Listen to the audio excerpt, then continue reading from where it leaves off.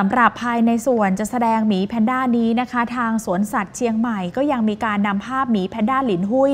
ขนาดเท่าตัวจริงเลยค่ะ ในอิริยาบถต่างๆ มาติดตั้งเอาไว้แบบนี้นะคะ โดยที่ก็มีทั้งตอนที่หลินหุยเนี่ยนั่งกินอาหาร ตอนนอนหลับตอนเล่นของเล่น และมีการตั้งจอโทรทัศน์ขนาดใหญ่ที่เปิดฉายสารคดี ชื่อว่าจากจีนแผ่นดินใหญ่ สู่แผ่นดินสยาม ร่วมสารสัมพันธ์ไทยจีนที่รวบรวมความเป็นมา